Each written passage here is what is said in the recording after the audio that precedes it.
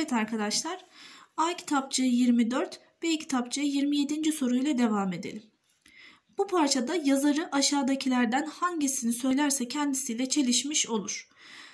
Öyküde olsun, şarkıda ve şiirde olsun herhangi bir sanat yapıtında ilk bakışta çirkin gibi görünen sözler bulunabilir. Ama bir sanat yapıtı tek sözcükle değil, bütünüyle anlam taşır. Sanat yapıtlarını tümü ile ele almak gerekir. E, tek sözcüğün hiç önemi yoktur. Önemli olan bütündür. Sanatçı tek tek sözcüklerden bütünlük yaratan kişidir.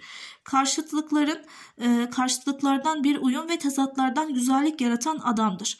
Bu uyumu görmeyenler, bu güzellikleri anlamayanlar sanatın ne olduğunu bilmeyenlerdir.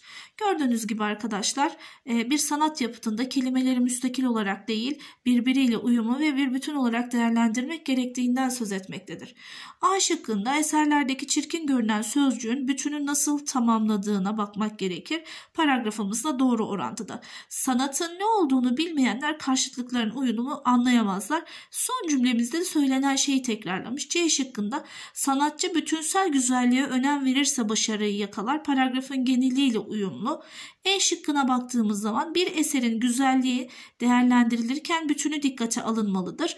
Yine paragrafın tamamıyla doğru orantıda arkadaşlar. Lakin D şıkkına bakarsak eserde bütünlük olmasa da her sözcüğün güzel görünmesi eseri güzel kılar.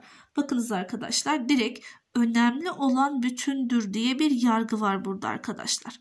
Direkt bununla ve paragrafın genel ifadesiyle çelişmektedir. Bu yüzden arkadaşlar cevabımız Denizli.